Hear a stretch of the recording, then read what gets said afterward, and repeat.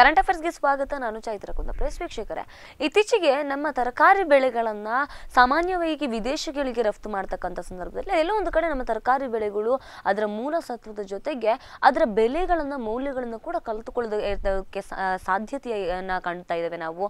ಕಾರಣ ಇಷ್ಟೇ, ಎಲ್ಲೋ ಒಂದು ಕಡೆ ಕಾಳಸಂತೆಗಳಲ್ಲಿ ಬೇರೆ ಯಾವುದೋ ರೀತಿಯ ನಕಲು ಪದಾರ್ಥಗಳನ್ನ, ನಕಲು ವಸ್ತುಗಳನ್ನ ತೋರಿಸುವುದರ ಮುಖಾಂತರ ಎಲ್ಲೋ, ಏನು ಒಂದು ಕಡೆ ಮೂಲವಾಗಿರ್ತಕ್ಕಂತಹ ಮೂಲ ವಸ್ತುವಿನ ಮೌಲ್ಯವನ್ನ ಗ್ರಾಹಕರಿಗೆ ತಲುಪಿಸುವಲ್ಲಿ ವಿಫಲವಾಗ್ತಾ ಇದ್ದೇವೆ ಅಂತಲೇ ಹೇಳ್ಬೋದೇನು. ಸೊ ಈ ನಿಟ್ಟಿನಲ್ಲಿ ಮೂಲ ವಸ್ತುವಿನ ಗುಣ, ಸ್ವಭಾವಗಳು ಹಾಗೆ ಗ್ರಾಹಕರ ಕೈಗೆ ಸಿಗ್ಬೇ, ಸೇರ್ಬೇಕು ಅನ್ನುವಂಥ ದೃಷ್ಟಿಯಲ್ಲಿ ಸ್ಟಿಕ್ಕರ್ಗಳನ್ನ ಬಳಕೆಗೆ ತರ್ತಕ್ಕಂಥ ಪ್ರಯತ್ನವನ್ನು ಮಾಡಿದ್ವಿ. ಬಹುಶಃ ನಾವು ಸಾಮಾನ್ಯವಾಗಿ ನೋಡ್ಬೋದು ಕಾಶ್ಮೀರಿ ಸೇಬುವಿನ ಮೇಲೆ ಸ್ಟಿಕ್ಕರ್ಗಳಿರ್ತದೆ.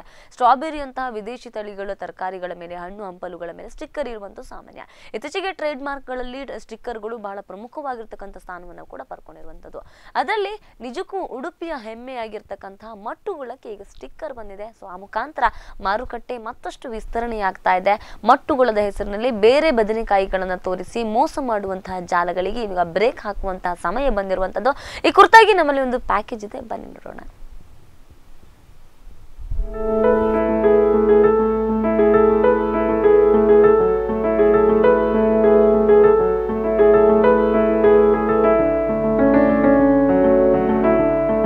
ಮಟ್ಟುಗುಳ್ಳ ಪ್ರಸಿದ್ಧವಾಗಿರುವುದರಿಂದ ಮಾರುಕಟ್ಟೆಯಲ್ಲಿ ಮಟ್ಟುಗುಳವನ್ನೇ ಹೋಲುವ ನಕಲಿ ಫಸಲುಗಳು ಮಾರಾಟಕ್ಕೆ ಬಂದದ್ರಿಂದ ಇದನ್ನ ತಡೆಗಟ್ಟುವ ನಿಟ್ಟಿನಲ್ಲಿ ಮಟ್ಟುಗುಳ್ಳದ ಮೇಲೆ ಸ್ಟಿಕ್ಕರ್ ಅಳವಡಿಸಲಾಗ್ತಾ ಇದೆ. ವಾದಿರಾಜರಂತಹ ಒಬ್ಬ ಶ್ರೇಷ್ಠ ಸಂತರು ಈ ಮಟ್ಟುಗುಳ್ಳದ ಬೀಜವನ್ನು ಇಲ್ಲಿಯವರೆಗೆ ಕೊಟ್ಟದ್ರಿಂದ ಬಹುಶಃ ಅದಕ್ಕೆ ಅಷ್ಟು ಒಳ್ಳೆಯ ಮಹತ್ವ ಬಂತು ಅಂತ ಅನಿಸ್ತದೆ ನಮಗೆ. ಪರ್ಯಾಯದ ಭೋಜನ ಮಧ್ಯಾಹ್ನದ ಭೋಜನದಲ್ಲಿ ಮಟ್ಟುಗುಳ್ಳದ ಹುಳಿ ಇಲ್ಲದೇ ಇದ್ದರೆ ಆ ಒಂದು ಭೋಜನಕ್ಕೆ ಒಂದು ಸೊಗಸೇ ಇಲ್ಲ.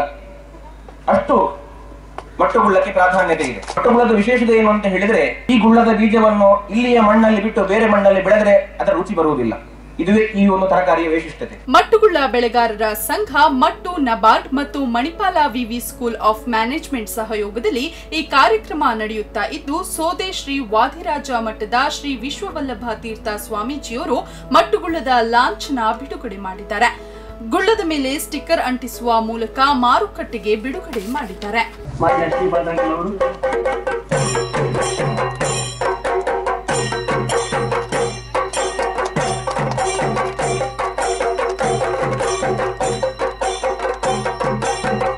ಜಿಯೋಗ್ರಾಫಿಕಲ್ ಇಂಡಿಕೇಶನ್ ಪಡೆದು ಪೇಟೆಂಟ್ ಹಕ್ಕು ಪಡೆದುಕೊಂಡಿರುವ ಮಟ್ಟುಗುಳ್ಳ ಇಡೀ ದೇಶದಲ್ಲಿ ಪ್ರಸಿದ್ಧ ಪಡೆದ ತರಕಾರಿಯಾಗಿದೆ.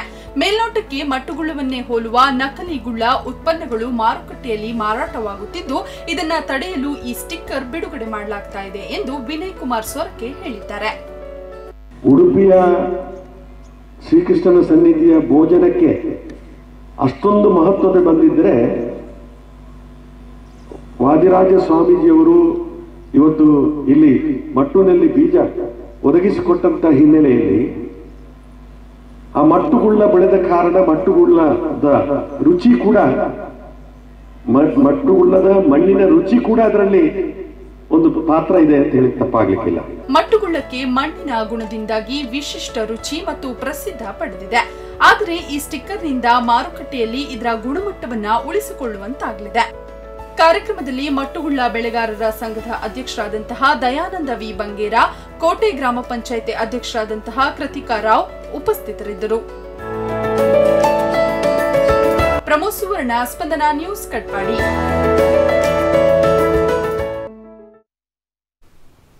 ಎಸ್, ಇದು ಮಟ್ಟುಗುಳಕ್ಕೆ ಸ್ಟಿಕ್ಕರ್ ಬಂದಿರುವಂತಹ ಕತೆ. ಬಹುಶಃ ಈ ವಿಚಾರವಾಗಿ ಮತ್ತಷ್ಟು ನಾವು ತಿಳ್ಕೊಳ್ಳೋದಕ್ಕಿದೆ. ಮಟ್ಟುಗುಳದ ಕುರಿತಾಗಿ ಇನ್ನಷ್ಟು ವಿಚಾರಗಳನ್ನು ಕೂಡ ತಿಳ್ಕೊಳ್ಳೋದಕ್ಕಿದೆ. ಎಸ್, ಬನ್ನಿ, ನಮ್ಮ ಜೊತೆ ಈಗ ಆ ವಿಚಾರದ ಬಗ್ಗೆ ಬಹಳಷ್ಟು ಮಾಹಿತಿಗಳನ್ನು ಕೊಡೋದಕ್ಕೆ ಮಟ್ಟುಗುಳ ಸಹಕಾರಿ ಸಂಘದ ವ್ಯವಸ್ಥಾಪಕ ನಿರ್ದೇಶಕರಾಗಿರ್ತಕ್ಕಂತಹ ಲಕ್ಷ್ಮಣ್ ಮಟ್ಟು ಅವರಿದ್ದಾರೆ. ಅವರಿಗೆ ಕಾರ್ಯಕ್ರಮಕ್ಕೆ ಸ್ವಾಗತವನ್ನು ಬಯಸೋಣ ಕಾರ್ಯಕ್ರಮಕ್ಕೆ ಸ್ವಾಗತ ಲಕ್ಷ್ಮಣ್ ಮಟ್ಟು ಅವರ.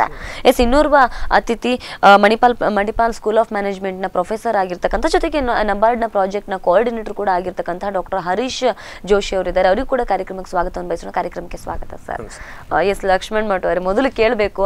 ಬಹುಶಃ ಕಳೆದ ಬಾರಿ ನಾವು ಮಾತನಾಡ್ತಾ ಇದ್ದಂಥ ಸಂದರ್ಭದಲ್ಲಿ ಮಟ್ಟುಗಳ ಕೆಲವೊಂದು ಕಡೆ ಜಿಯೋಗ್ರಫಿಕಲ್ ಇಂಡಿಕೇಶನ್ ಇದೆ. ಆದ್ರೆ ಬಹಳ ದೊಡ್ಡ ಸವಾಲು ಅಂತಂದ್ರೆ ಬೇರೆ ಬದನೆಕಾಯಿಗಳು ಮಟ್ಟುಗುಳ್ಳದ ಹೆಸರಿನಲ್ಲಿ ಹೋಗ್ತಾ ಇದೆ ಅಂತ. ಸೊ ಈಗ ಸ್ಟಿಕ್ಕರ್ ಬಂದಿರುವಂತದ್ದು ಸೊ ಎಷ್ಟರ ಮಟ್ಟಿಗೆ ಅದು ನಿಮ್ಗೆ ಸಹಕಾರಿಯಾಗಿದೆ ಅಂತ? ಮುಂಚೆ ನಮ್ಮ ಈ ಮಟ್ಟುಗುಳ್ಳದ ಹೆಸರಲ್ಲಿ ಇವಾಗ ಗುಳ್ಳ ಅಂತ ಹೇಳಿದ್ರೆ ಮಟ್ಟಿದ್ದು ಮಾತ್ರ ಗುಳ್ಳ. ಬೇರೆ ಎಲ್ಲ ಬದನೆ. ಇವಾಗ ಮಂಗಳೂರು ಮಾರುಕಟ್ಟೆ ಆಗಲಿ ಬ್ಯಾಂಗ್ಳೂರ್ ಆಗಲಿ ಮುಂಬೈ ಆಗಲಿ ಎಲ್ಲ ಗುಳ್ಳ ಅಂತೇಳಿ ಮಾರ್ತಾರೆ ಇವಾಗ ಮಂಗಳೂರಿಗೆ ಹೋದರೆ ಬಣ್ ಗುಳ್ಳ ಅಂತೇಳಿ. ಗುಳ್ಳ ಅಂತ ಗ್ರಾಹಕರಿಗೆ ಇದು ತುಂಬ ಕನ್ಫ್ಯೂಸ್ ಆಗ್ತಿತ್ತು. ಗುಳ್ಳ ಕೂಡ ಅದು ಕೂಡ ದೊಡ್ಡ ಸೈಜ್ ಆಗಿತ್ತು. ಆದರೆ ಮಟ್ಟು ಗುಳ್ಳ ಅಂತೇಳಿ ಇದು ಚಾಲ್ತಿಯಲ್ಲಿತ್ತು. ನಾವು ಮಳೆಗಾಲದಲ್ಲಿ ಗುಳ್ಳ ಬೆಳೆಸೋದಿಲ್ಲ. ನಮ್ಮದು ಬರೋದು ಏನಿದ್ರು ಅಕ್ಟೋಬರ್ ಮೇಲೇನೆ. ಆದರೂ ಕೂಡ ಆಗಸ್ಟ್ ಸೆಪ್ಟೆಂಬರಲ್ಲಿ ಹೇಳಿ ಅಂತೇಳಿ ಮಾರ್ಕೆಟಲ್ಲಿ ಸಿಗ್ತಿತ್ತು ಇದು ನಮ್ಮಲ್ಲಿ ಅದು ಬರ್ತಿರಲಿಲ್ಲ. ಅದು ಗ್ರಾಹಕರಿಗೆ ಗೊತ್ತಾಗ್ತಿರ್ಲಿಲ್ಲ. ಮತ್ತೊಂದು ನಮಗೆ ಮಟ್ಟುಗುಳ್ಳದ ಮತ್ತು ಬಣ್ಣ ಇದು ನಮ್ಮ ಈ ಲೋಕಲ್ನವರಿಗೆ ಗೊತ್ತಿರ್ತದೆ ಬೇರೆಯವರಿಗೆ ಗೊತ್ತಿರೋದಿಲ್ಲ ಅದಕ್ಕೆ ನಾವೊಂದು ಇದಕ್ಕಾಗಿ ನಮ್ಮ ಸಂಘ ಕೂಡ ಬೆಳೆಗಾರರ ಸಂಘ ಕೂಡ ಆಯಿತು. ಬೆಳೆಗಾರರ ಸಂಘ ಪೇಟೆಂಟ್ ಕೂಡ ಪಡೆಯಿತು. ಮತ್ತು ಟ್ರೇಡ್ ಮಾರ್ಕ್ ಆಗಿ ನಾವು ರಿಜಿಸ್ಟರ್ ಮಾಡಿ ಚೆನ್ನೈ ಜಿಯೋಗ್ರಫಿಗಿಂದ ಸ್ಟಿಕ್ಕರನ್ನು ಕೂಡ ಟ್ರೇಡ್ ಮಾರ್ಕ್ ಆಗಿ ನೋಂದಾಯಿಸಿದ್ವಿ. ನೋಂದಾಯಿಸಿದ್ರಿ. ಹೌದು ಟ್ರೇಡ್ ಮಾರ್ಕ್ ಇದನ್ನು. ಅದರ ನಂತರ ನಾವು ಯಾಕೆ ಈ ಮಟ್ಟುಗುಳದಿ ಇಂತಹ ಇದನ್ನು ತಡೆಗಟ್ಟಬಾರ್ದು ಅಂತೇಳಿ ನಮ್ಮ ಸಂಘವು ನಿರ್ಧರಿಸಿದ್ದು ಮತ್ತು ಸ್ಟಿಕ್ಕರನ್ನು ಕೂಡ ತಯಾರಿಸಿದ್ವಿ. ಇವಾಗ ಕಳೆದ ವರ್ಷನೇ ಆ ಸ್ಟಿಕ್ಕರನ್ನು ತಯಾರಿ ಮಾಡಿದ್ದೇವೆ.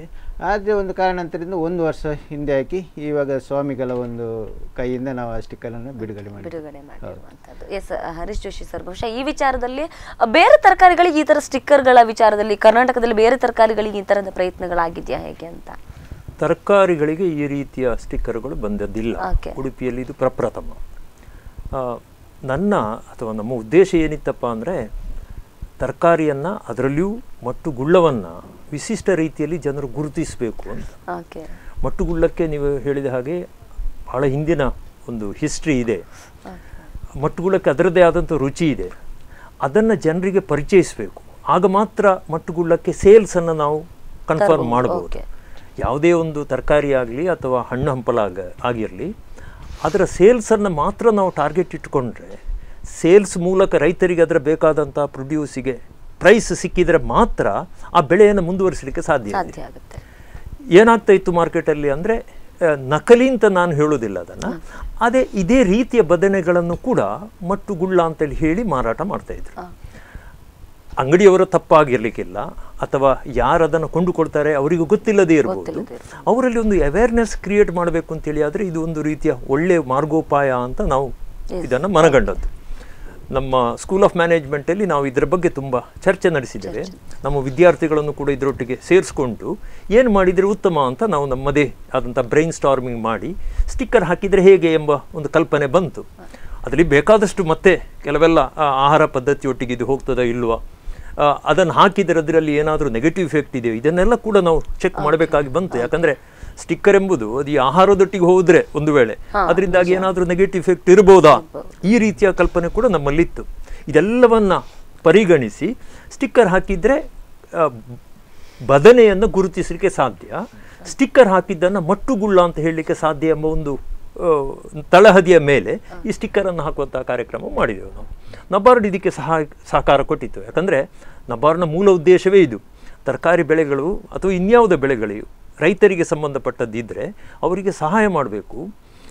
ಪ್ರಧಾನಮಂತ್ರಿಯವರ ಈಗಿನ ಯೋಜನೆ ಪ್ರಕಾರ ಎರಡು ಸಾವಿರದ ಇಪ್ಪತ್ತರಲ್ಲಿ doubling the income of farmer ಅಂತ ಹೇಳಿದ್ದಾರೆ. ಅದಕ್ಕೆ ಸರಿಯಾಗಿ ಪೂರಕವಾಗಿ. ನೀವೀಗ ಲಕ್ಷ್ಮಣ್ ಹತ್ರ ಕೇಳಿದರೂ ಗೊತ್ತಾಗುತ್ತೆ. ಈ ಸ್ಟಿಕ್ಕರ್ ಹಾಕಿದ ಮೇಲೆ ಅದರ ಬೆಳವಣಿಗೆ ತುಂಬ ಫಾಸ್ಟ್ ಆಗಿದೆ. ಜನಗಳಿಗೆ ಇದು ಮಟ್ಟಿನ ಗುಳ್ಳ ಅಂತ ಅವರು ಐಡೆಂಟಿಫೈ ಮಾಡುವಷ್ಟು ಅವೇರ್ನೆಸ್ ಕ್ರಿಯೇಟ್ ಆಗಿದೆ. ಅದರ ಜೊತೆಗೆ ಬೇರೆ ಗುಳ್ಳಕ್ಕೂ ಇದಕ್ಕೆ ಏನು ವ್ಯತ್ಯಾಸ ಇದೆ ಅಂತೇಳಿ ನೋಡುವಷ್ಟು, ಅಷ್ಟು ಸುಲಭದಲ್ಲಿ ಒಂದು ಅವೇರ್ನೆಸ್ ಕ್ರಿಯೇಟ್ ಮಾಡಲಿಕ್ಕೆ ಸಾಧ್ಯ ಇಲ್ಲ. ಇದು ಪ್ರಥಮ ಹಂತ ಅಂತ ನಾನು ಹೇಳಲಿಕ್ಕೆ ಬಯಸ್ತೇನೆ. ಎಸ್ ಲಕ್ಷ್ಮಣ್ ಅವರ. ಬಹುಶಃ ಈ ವಿಚಾರದಲ್ಲಿ ಅವ್ರು ಕೂಡ ಮಾತಾಡ್ತಾ ಇದ್ರು ಎಲ್ಲೋ ಒಂದು ಕಡೆ. ಸ್ಟಿಕ್ಕರ್ ಹಾಕಿದ್ಮೇಲೆ ವ್ಯತ್ಯಾಸಗಳಾಗ್ತಾ ಇದೆ ಅಂತ. ಸೊ ಎಷ್ಟರ ಮಟ್ಟಿಗೆ ಡಿಫ್ರೆನ್ಸಸ್ ಬರ್ತಿದೆ? ಗ್ರಾಹಕರು ಏನಾದ್ರು ಹೇಳ್ತಿದಾರಾ ಸ್ಟಿಕ್ಕರ್ ಸ್ವಾಮಿಗಳು ಬಿಡುಗಡೆ ಮುಂಚೆನೆ ಮುಂದಿನ ದಿವಸ. ಮುಂದಿನ ದಿವಸನೇ ನಮಗೆ ತುಂಬ ಸ್ಟಾಕ್ ಉಳಿತಿತ್ತು. ಸ್ಟಾಕ್ ಉಳಿತಿತ್ತು ಮಾರುಕಟ್ಟೆ ಸಮಸ್ಯೆ ಇತ್ತು ಸ್ವಲ್ಪ. ಸ್ಟಿಕ್ಕರ್ ಹಾಕಿದ ಮರು ದಿವಸನೇ ಮಾರುಕಟ್ಟೆ ಚಾಲನೆ ಆಯಿತು. ಚಾಲನೆ ಆಯ್ತು. ಇವತ್ತಿನ ಮಟ್ಟಿಗೆ ನಮಗೆ ತುಂಬ ಬೇಡಿಕೆ ಉಂಟು ಸಪ್ಲೈ ಮಾಡುವಷ್ಟು ಗುಲ್ಲ ಇಲ್ಲ ಇವಾಗ. ಅಷ್ಟು ಚೇಂಜಸ್ ಆಗಿದೆ. ಮತ್ತೊಂದು ಇದು ನಮಗೆ ಇವಾಗ ಸಪ್ಲೈ ಕೂಡ ಪ್ರೊಡಕ್ಷನ್ ಕೂಡ ಕಡಿಮೆ ಉಂಟು ಸ್ವಲ್ಪ. ಆದ್ದರಿಂದಾಗಿ ಕೂಡ ಸ್ವಲ್ಪ ಸಪ್ಲೈಗೆ ನಮಗೆ ಅಡಚಣೆ ಉಂಟು. ಆದರೆ ನಾವು ಮಾರುಕಟ್ಟೆಯಲ್ಲಿ ಇವಾಗ ಎಲ್ಲಿ ಹೋದ್ರೂ ಕೂಡ ಬುಟ್ಟಿಯಲ್ಲಿ ನಮ್ಮ ಮಟ್ಟುಗುಲ್ಲದ ಸ್ಟಿಕ್ಕರ್ ಇದ್ದದ್ದೇ ಕಾಣ್ತದೆ. ಡಿಫರೆಂಟ್ ನೋಡ್ಲಿಕ್ಕೆ ತುಂಬಾ ಒಳ್ಳೆಯದಾಗ್ತದೆ ಮತ್ತೆ ಗ್ರಾಹಕರು ಕೂಡ ಬಂದಲ್ಲಿ ಸ್ಟಿಕ್ಕರ್ ಇದ್ದ ಗುಲ್ಲವನ್ನೇ ಕೊ- ಕೊಂಡು. ಕೊಡಿ ಅಂತ ಹೇಳ್ತಾರೆ ಕೇಳ್ತಾರೆ. ಆವಾಗ ಈ ನಮ್ಮ ಅಂಗಡಿಯವರಿಗೂ ಕೂಡ ಅಲ್ಲಿ ಮೋಸ ಮಾಡುವ ಆಗುವುದಿಲ್ಲ. ಆಗೋದಿಲ್ಲ. ಮತ್ತೆ ಯಾರಾದ್ರೂ ನಮ್ಮ ರೈತರು ಕೂಡ ಬೇರೆ ಪಕ್ಕದಿಂದ ಅವರ ಅಡ್ಡದಿಂದ ಕೊಡ್ಲಿಕ್ಕೂ ಆಗುದಿಲ್ಲ ಅದು ಒಂದು ಕೂಡ ಬೆನಿಫಿಟ್ ನಮಗೆ. ರೈತರು ಕೂಡ ಯಾರಿಗೂ ಕೊಡುವ ಹಾಗಿಲ್ಲ. ಸಂಘಕ್ಕೇನೆ ಕೊಡಬೇಕಾಗ್ತದೆ. ಅಂದ್ರೆ ಅಂಗಡಿಯವರು ಕೂಡ ಸಂಘದಿಂದಲೇ ತಗೊಳ್ಬೇಕಾಗ್ತದೆ. ಅಂದ್ರೆ ಸ್ಟಿಕ್ಕರ್ ಇರುವುದು ಸಂಘದ ಹತ್ರ ಮಾತ್ರ. ಅದು ಹೊರಗಡೆ ಕೊಡುವುದಿಲ್ಲ. ರೈತರ ಕೈಗೂ ಸಿಗ್ಲಿಕ್ಕೆ ಬಿಡುವುದಿಲ್ಲ ನಾವು. ನಮ್ಮ ಸ್ಟಾಪಲ್ಲಿ ವಿಂಗಡಣೆಗಾರರು ಅದನ್ನು ಸ್ಟಿಕ್ಕರ್ ಹಾಕಿ ಕೊಡ್ತಾರೆ. ಇದರಿಂದ ನಮಗೆ ತುಂಬ ಇವಾಗ ಮಾರುಕಟ್ಟೆಯಲ್ಲಿ ಕೂಡ ಅಂಗಡಿಯವರು ಕೂಡ ಸ್ಟಿಕ್ಕರ್ ಇದ್ದ ಗುಲ್ಲವನ್ನೇ ಕೇಳ್ತಾರೆ. ಇಲ್ಲದಿದ್ರೆ ಬೇಡ ಇಲ್ಲದಿದ್ರೆ ಅದು ಬೇಡ ಅಂತ ಹೇಳ್ತಾರೆ. ಗ್ರಾಹಕರು ಕೂಡ ಹಾಗೇನೆ. ಸ್ಟಿಕ್ಕರ್ ಇಲ್ಲದಿದ್ರೆ ಬೇಡ ಸ್ಟಿಕ್ಕರ್ ಇದ್ದದ್ದೇ ಕೊಡಿ ಅಂತೇಳಿ ಇವಾಗ ಅಷ್ಟು ನಮಗೆ ಪಬ್ಲಿಸಿಟಿ ಸ್ವಲ್ಪ ಕಡಿಮೆ ಉಂಟು ಇವಾಗ. ಇನ್ನು ಪಬ್ಲಿಸಿಟಿ ಆದ್ರೆ ಇನ್ನಷ್ಟು ಕೂಡ. ಸರ್ ಸಾಮಾನ್ಯವಾಗಿ ಈ ಸ್ಟಿಕ್ಕರ್ ಗಳನ್ನ ಕೂಡ ಡ್ಯೂಪ್ಲಿಕೇಟ್ ಮಾಡುವಂತ ಸಾಧ್ಯತೆ ಇದೆ. ಸೊ ಈ ಸ್ಟಿಕ್ಕರ್ನ ಕುರಿತಾಗಿ ಎಷ್ಟು ಜಾಗ್ರತೆ ವಹಿಸಿದೀರಾ ಅಂತ? ಒಂದು ಸ್ಟಿಕ್ಕರ್ ಆಗಬೇಕು ಅಂತೇಳಿ ಆದರೆ ಅದನ್ನು ನಾವು ಲಾಂಛನ ಅಂತ ನಾವು ಏನು ಕರಿತೇವೆ ಅದು ಆಗಬೇಕು ಅಂತೇಳಿ ಆದರೆ ಅದರ ಹಿಂದೆ ತುಂಬ ದೊಡ್ಡ ಪ್ರೋಸೆಸ್ ಇದೆ. ಒಂದು ಅದು ಎಡಿಬಲ್ ಹೌದಾ ಅಲ್ವಾ ಅಂತ. ಈಗ ನೋಡಿ ಒಂದು ಮಟ್ಟುಗುಳ್ಳದಲ್ಲಿ ನಾವು ಸ್ಟಿಕ್ಕರ್ ಹಾಕಿದಾಗ ಪಕ್ಕನೆ ಅದನ್ನು ವಾಶ್ ಮಾಡದೆ ಅಥವಾ ತೆಗೆಯದೆ ಅದನ್ನು ಉಪಯೋಗಿಸಿದರೆ ಅದರಿಂದ ಆರೋಗ್ಯಕ್ಕೆ ಏನಾದರೂ ಹಾನಿಕರ ಆಗ್ತದೆ ಇಲ್ವೋ ಎಂಬ ಒಂದು ಟೆಸ್ಟ್.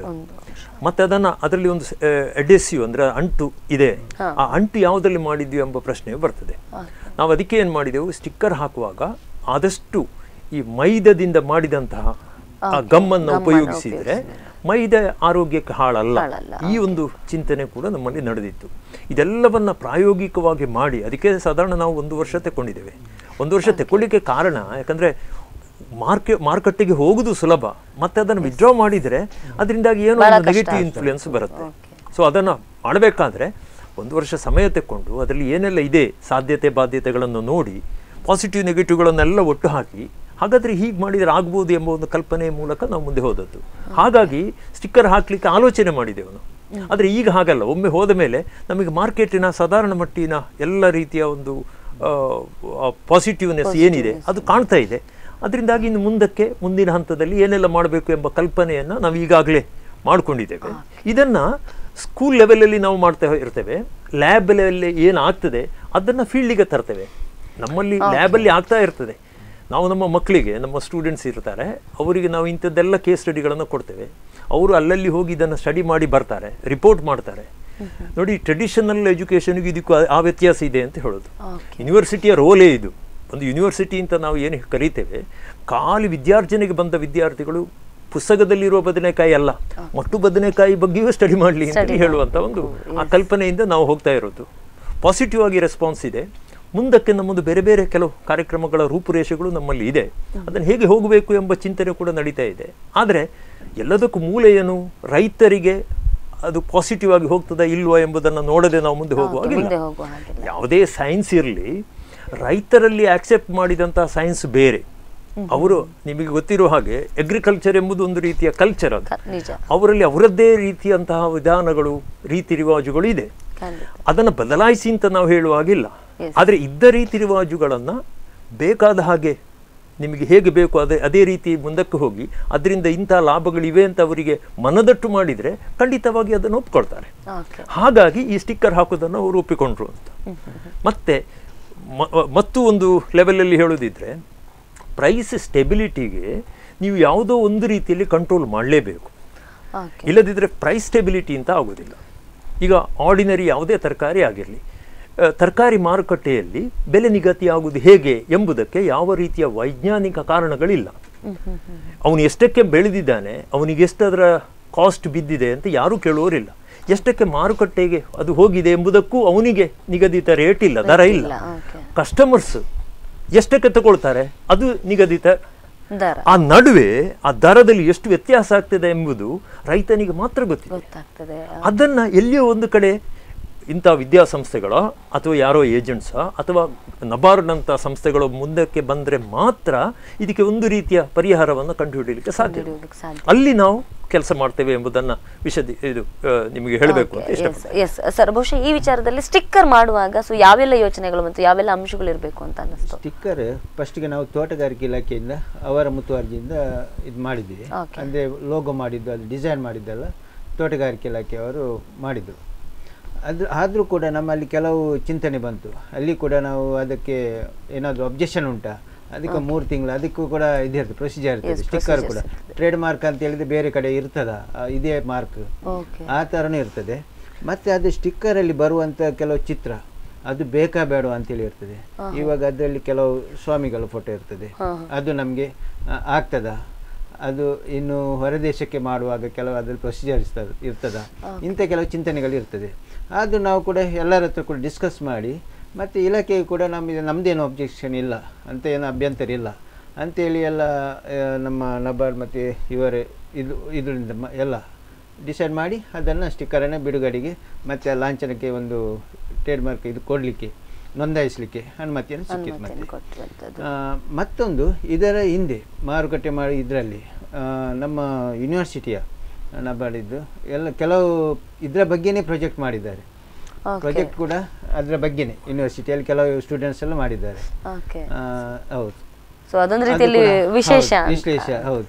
ಮತ್ತೆ ಮಾರುಕಟ್ಟೆ ಬಗ್ಗೆ ಕೂಡ ಎಲ್ಲ ಸ್ಟೂಡೆಂಟ್ಸ್ ಕೂಡ ಯೂನಿವರ್ಸಿಟಿ ಸ್ಟೂಡೆಂಟ್ಸ್ ಮಾರುಕಟ್ಟೆ ಎಲ್ಲ ಬದನೆ ಎಷ್ಟೆಷ್ಟು ಅಂಗಡಿಯಲ್ಲಿ ಎಷ್ಟೆಷ್ಟು ತಿಂತಾರೆ. ಜನ ಎಲ್ಲ ಜನರ ಹತ್ರ ಹೋಗಿ ಎಷ್ಟು ಈ ಇಂಥ ಗುಲ್ಲವನ್ನು ಯಾರು ಉಪಯೋಗಿಸ್ತಾರೆ? ಉಪಯೋಗಿಸ್ತಾರೆ. ಎಷ್ಟು ಜನ ಉಪಯೋಗಿಸ್ತಾರೆ? ಎಷ್ಟು ಮಟ್ಟದಲ್ಲಿ ಉಪಯೋಗಿಸ್ತಾರೆ ಅಂತೇಳಿ ಕೂಡ ಸ್ಟಡಿ ಆಗಿದೆ ಇದರ ಬಗ್ಗೆ. ಓಕೆ ಎಸ್ ಸರ್ ಈ ವಿಚಾರದಲ್ಲಿ ಸ್ಟಿಕ್ಕರ್ ಮಾಡುವಾಗ ಒಂದು ಕಲ್ಪನೆ ಇರ್ತದೆ. ಅದರಲ್ಲೂ ಜಿಯೋಗ್ರಫಿಕಲ್ ಇಂಡಿಕೇಶನ್ ಪಡ್ಕೊಂಡಿರ್ತಕ್ಕಂಥ ಮಟ್ಟುಗಳಕ್ಕೆ ಸ್ವಾಮೀಜಿಗಳ ಹೆಸರನ್ನು ಹಾಕಿದ್ದಾರೆ. ಸೊ ಆ ಸ್ಟಿಕ್ಕರ್ನ ಡಿಸೈನ್ ಬಗ್ಗೆ ಹೇಗೆ ಯೋಚನೆ ಮಾಡಿದ್ರೆ? ಇದರಲ್ಲಿ ಹೀಗೆ ಬರಬೇಕು ಅನ್ ಅನ್ನುವಂಥ ಯಾವ್ದಾದ್ರು ಕಲ್ಪನೆಗಳಿತ್ತ? ಪ್ರಪ್ರಥಮವಾಗಿ ಅಂಥದ್ದೇನು ಕಲ್ಪನೆಗಳು ಇರಲಿಲ್ಲ ಓಕೆ ಈ ಸಂದರ್ಭದಲ್ಲಿ ನಾವು ಸೋದೆ ಸ್ವಾಮೀಜಿಯವರನ್ನು ಭೇಟಿಯಾದಾಗ ಅವರು ಹೇಳಿದರು ವಾದಿರಾಜ ಗುಳ್ಳ ಅಂತ ಇದು ಬಹಳ ಪ್ರಸಿದ್ಧ. ಮಾದಿರಾಜ ಸ್ವಾಮಿಗಳು ವಸ್ತುವನ್ನು ಹಿಡ್ಕೊಂಡು ಹೋಗುವಂತಹ ಈ ಒಂದು ಅದು ನಮ್ಮ ಕಲ್ಪನೆ ಇತ್ತು. ಅದನ್ನೇ ಇಲ್ಲಿ ಅಳವಡಿಸಿದ್ರೆ ಹೇಗೆ ಅಂತ ಒಂದು ಚಿಂತನೆ ಮಾಡಿದೆವು. ಅದಕ್ಕೆ ಅವರ ಹತ್ರ ಕೂಡ ಕೇಳುವಾಗ ಅವರು ಖಂಡಿತವಾಗಿ ಇದನ್ನು ಮಾಡಬಹುದು ಅಂತ. ಸ್ವಾಮಿಗಳ ಒಂದು ಆಜ್ಞೆ ಉಂಟು ಅಂತ ಆದರೆ ಈ ಕಾರ್ಯಕ್ರಮಕ್ಕೂ ಅವರೇ ಚಾಲನೆ ಕೊಟ್ಟದ್ದು. ಹಾಗಾಗಿ ಇದು ನಮ್ಮಲ್ಲಿ ಖಂಡಿತವಾಗಿ ಸಕ್ಸಸ್ ಆಗ್ತದೆ ಎಂಬ ಒಂದು ಸಿಕ್ಸ್ತ್ ಸೆನ್ಸ್ ಇದೆ. ಆ ಸಿಕ್ಸ್ತ್ ಸೆನ್ಸಲ್ಲಿ ನಾವು ಮುಂದೆ ಹೋದೆವು. ಯಾಕಂದರೆ ವಾದಿರಾಜ ಗುಳ್ಳ ಅಂತ ತಿಳಿಯೋದಕ್ಕೆ ಹೆಸರು ಹೇಳ್ಬೋದು. ವಾದಿರಾಜ ಸ್ವಾಮಿಗಳು ಕೊಟ್ಟ ಕಾರಣ. ಆದರೆ ಲಕ್ಷ್ಮಣ್ ಅವರು ಹೇಳಿದ ಹಾಗೆ ಎಕ್ಸ್ಪೋರ್ಟ್ ಮಾಡುವಾಗ ಕೆಲವೆಲ್ಲ ಕಂಡೀಷನ್ಸ್ಗಳು ಇರ್ತವೆ ಆ ಕಂಡೀಷನ್ಸ್ಗಳಿಗೆ ಸರಿಯಾಗಿ ಈ ಸ್ಟಿಕ್ಕರ್ ವರ್ಕ್ ಆಗ್ತದೋ ಇಲ್ವೋ ಎಂಬ ಚಿಂತನೆಯನ್ನು ನಡೆಸಬೇಕು ಅಂತ ಇತ್ತು. ಹಾಗಾಗಿ ಈಗ ಲೋಕಲಿ ಅವೈಲೇಬಲ್ ಏನಿದೆ ಗುಳ್ಳ ಅದಕ್ಕೆ ನಾವು ಈ ಸ್ಟಿಕ್ಕರನ್ನು ಉಪಯೋಗಿಸ್ತೇವೆ. ಎಕ್ಸ್ಪೋರ್ಟ್ ಕ್ವಾಲಿಟಿಗೆ ಹೇಗೆ ಬೇಕು ಎಂಬ ಇನ್ನೊಂದು ಆ ರಿಸರ್ಚ್ ನಮ್ಮಲ್ಲಿ ಈಗ ನಡೀತಾ ಇದೆ. ಇದೇ ಸ್ಟಿಕ್ಕರನ್ನು ಕಂಟಿನ್ಯೂ ಮಾಡ್ಬೋದು ಯಾಕಂದರೆ ಎಕ್ಸ್ಪೋರ್ಟ್ ಲೈಸೆನ್ಸ್ ಮಾಡಿಸುವಾಗ ಎಕ್ಸ್ಪೋರ್ಟ್ಸ್ ಲೈಸೆನ್ಸಿಗೆ ಸರಿಯಾಗಿ ಈ ಸ್ಟಿಕ್ಕರುಗಳು ಇರಬೇಕು. ಅದರಲ್ಲಿ ನಮ್ಮ ಕೆಲವೆಲ್ಲ ನಂಬರ್ಗಳನ್ನು ಹಾಕಬೇಕು. ಅದರಲ್ಲಿ ಇನ್ನೀಗ ಜಿ ಐಗೆ ರಿಲೇಟೆಡ್ ಏನಾದರೂ ಇದ್ದರೆ ಆ ಇನ್ಫಾರ್ಮೇಷನ್ ಕೂಡ ನಾವು ಅದಕ್ಕೆ ಹಾಕಬೇಕಾಗುತ್ತೆ. ಹಾಗೆ ಹಾಕಬೇಕಾದ್ರೆ ಇದನ್ನು ರೀಡಿಸೈನ್ ಮಾಡಬೇಕು. ಆ ರೀಡಿಸೈನ್ ಬಗ್ಗೆ ಈಗ ನಮ್ಮಲ್ಲಿ ಆ ಒಂದು ವರ್ಕ್ ನಡೀತಾ ಇದೆ. ಪ್ರಾಯಶಃ ಒಮ್ಮೆ ಇಲ್ಲಿ ಸ್ಟೆಬಿಲೈಸ್ ಆದ ಮೇಲೆ ನಾವು ಅದಕ್ಕೆ ಮುಂದಿನ ಹಂತಕ್ಕೆ ಹೋಗ್ತೇವೆ ಎಂಬುದು ನನ್ನ ಮತ್ತೆ ಮತ್ತೊಂದು ಅಂತ ಹೇಳಿದ್ರೆ ನಮ್ಮ ಸ್ಟಿಕ್ಕರಲ್ಲಿ ಇವಾಗ ಫಸ್ಟ್ ಎ ಗ್ರೇಡ್ಗೆ ಮಾತ್ರ ಸ್ಟಿಕ್ಕರ್ ಹಾಕ್ತಿದ್ದೇವೆ ಅದೇ. ದ್ವಿತೀಯ ದರ್ಜೆಗೆ ಹಾಕ್ತಾ ಇಲ್ಲ.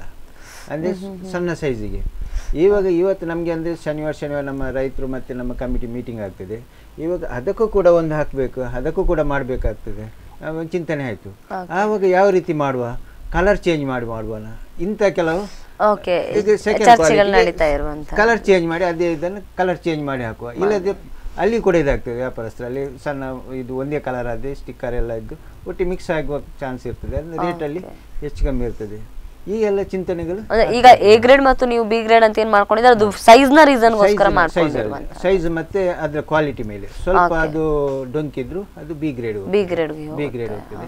ಹಾಗೆ ಸಿ ಗ್ರೇಡ್ ಕೂಡ ಹೋಗ್ತದೆ. ತೂತ್ ಇದ್ರೆ ಅದು ಸಿ ಗ್ರೇಡ್ ಹೋಗ್ತದೆ ಅಂತದ್ದು ನಾವು ಅಂಥದ್ದು ನಾವು ಸ್ಟಿಕ್ಕರ್ಗೆ ಅಳವಡಿಸಿದಿಲ್ಲ ಫಸ್ಟ್ ಗ್ರೇಡ್ ಮಾತ್ರ. ಫಸ್ಟ್ ಈಗ ಸದ್ಯಕ್ಕೆ ಫಸ್ಟ್ ಗ್ರೇಡ್ first ಮಾತ್ರ ಮಾಡ್ತಾ ಇದ್ದಾರೆ?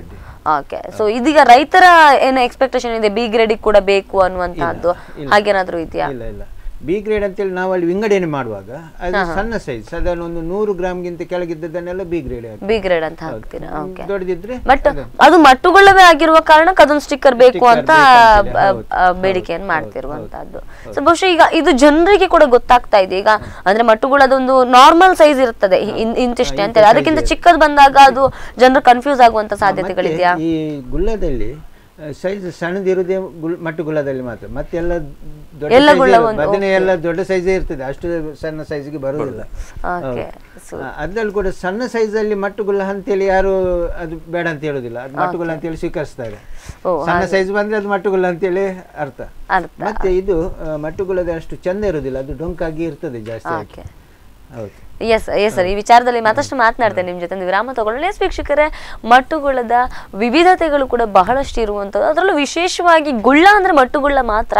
ಹೊರತಾಗಿ ಬೇರೆ ಯಾವುದಕ್ಕೂ ಕೂಡ ಗುಳ್ಳ ಅನ್ನೋ ಅನ್ನುವಂಥ ಹೆಸರು ಇಲ್ಲ. ಅದು ಮಾತ್ರ ಉಳಿದವೆಲ್ಲವೂ ಕೂಡ ಬದನೆಕಾಯಿ ಅನ್ನುವಂಥದ್ದು ಒಂದು ರೀತಿಯ ಬಹಳಷ್ಟು ಜನರಿಗೆ ಗೊತ್ತಿಲ್ಲದಂತಹ ವಿಚಾರ. ಎಸ್ ಈ ವಿಚಾರವಾಗಿ ಮತ್ತಷ್ಟು ಮಾತನಾಡ್ತೇನೆ. ಅದಕ್ಕೂ ಒಂದು ಪುಟ್ಟ ವಿರಾಮ.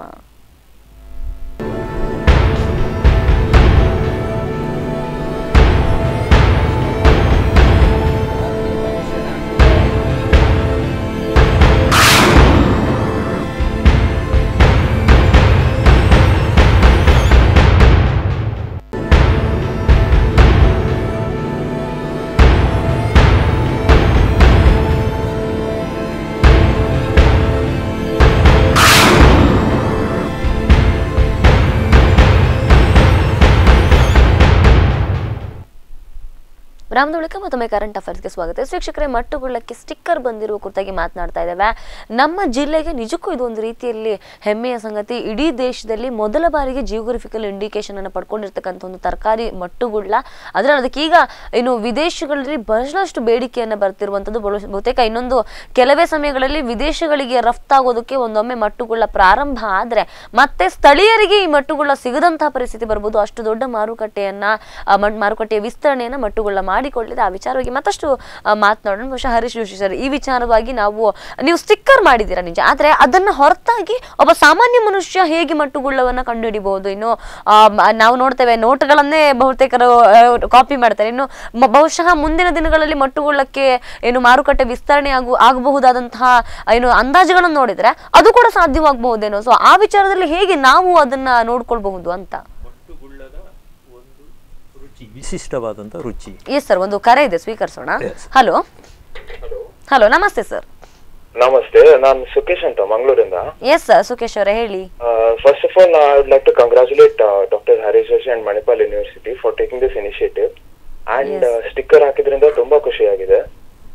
ಎಸ್ ಸರ್ ನೀವು ಮಟ್ಟುಗುಳ್ಳದ ಡಿಫ್ರೆನ್ಸಿಯೇಷನ್ ನಿಮ್ಗೆ ಗೊತ್ತಾಗತ್ತಾ ಸರ್ ಹೇಗಾದ್ರು? ಎಕ್ಸಾಕ್ಟ್ಲಿ ಎಕ್ಸಾಕ್ಟ್ಲಿ ಅದು ಅದು ತುಂಬಾ ದೊಡ್ಡ ಅಡ್ವಾಂಟೇಜ್ ಅಂತ ಅನಿಸ್ತದೆ ಮುಂಚೆ ಎಲ್ಲ ಒಂದ್ ಟೈಪ್ ಕಾಮನ್ ಗುಳಾಸ ಬರ್ತಿತ್ತು. ಬಟ್ ಈಗ it's stands out in market so ಖುಷಿ ಆಗ್ತದೆ ನೋಡುವಾಗ. ಓಕೆ ಸೊ ನಿಮ್ಗೆ ಗೊತ್ತು ಮಟ್ಟುಗೊಳ್ಳದ ರುಚಿ ಏನು ಅಂತ ಗೊತ್ತು ನಿಮ್ಗೆ? ಹೌದು. ನಾನು ಅವ್ರ ಹತ್ರ ಒಂದು ಕ್ವೆಶನ್ ಕೇಳ್ಬೇಕಂತ ಉಂಟು. ಓಕೆ ಕೇಳಿ ಸರ್ ಓಕೆ ಅದು ಇನ್ನು ಮಾರ್ಕೆಟ್ ಅನ್ನು ಅವ್ರು ಯಾವ ಟೈಪ್ ಅಲ್ಲಿ ಎಕ್ಸ್ಪಾಂಡ್ ಮಾಡ್ಬೇಕಂತ ಎಸ್?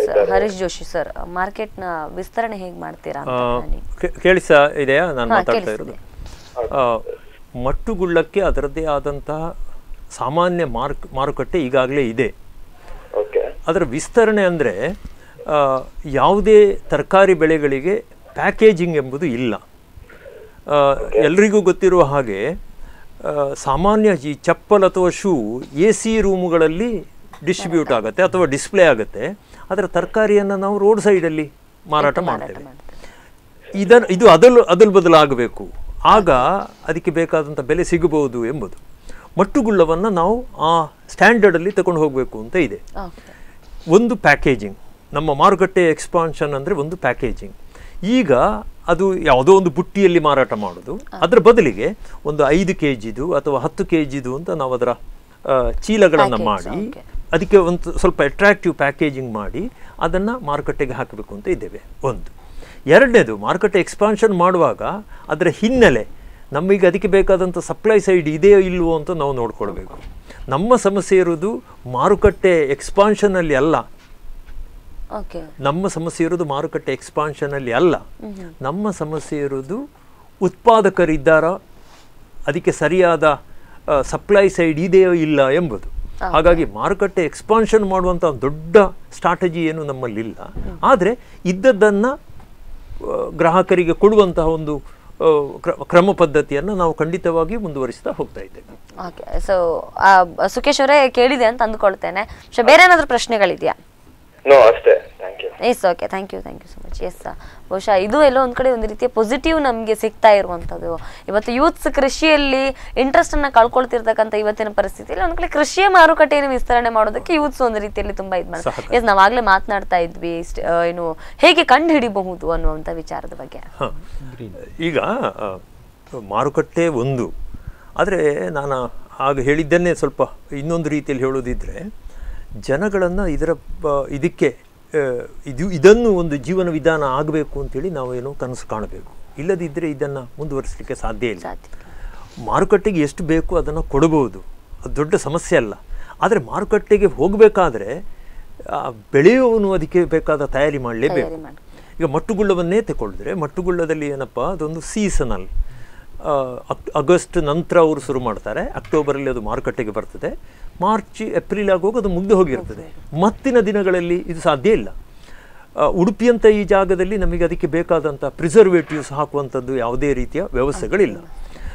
ವರ್ಷ ಪೂರ್ತಿ ಅದು ಸಿಗಬೇಕು ಅಂತೇಳಿ ಆದರೆ ನಾವೇನು ಮಾಡಬೇಕು ಒಂದ ನಮ್ಮ ಸೀಸನಲ್ಲಿ ಅದನ್ನು ಒಟ್ಟು ಮಾಡಿ ಅದನ್ನು ಎಲ್ಲಿಯೋ ಒಂದು ಕೋಲ್ಡ್ ಸ್ಟೋರೇಜಲ್ಲಿ ಇಟ್ಟು ಏನಾದರೂ ಮಾಡಬೇಕು. ಅದು ಒಂದು ರೀತಿಯ ಮಾರ್ಕೆಟ್ ಎಕ್ಸ್ಪಾನ್ಷನ್ ಆಗುತ್ತೆ.